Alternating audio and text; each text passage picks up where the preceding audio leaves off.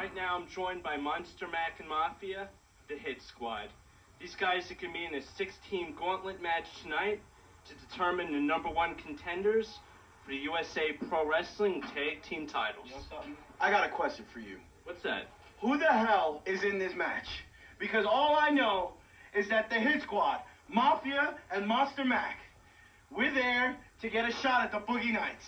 It's not even, we can't, we, let's be honest, we can't even call it a shot. It's gonna be a straight up murder because we are the Grand Slam champions.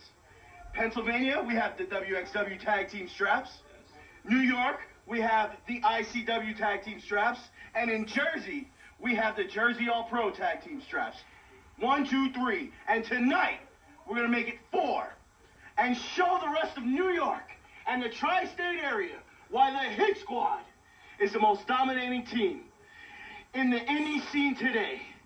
But you know what, Maff? I'm gonna let you tell these idiots at home what it's all about.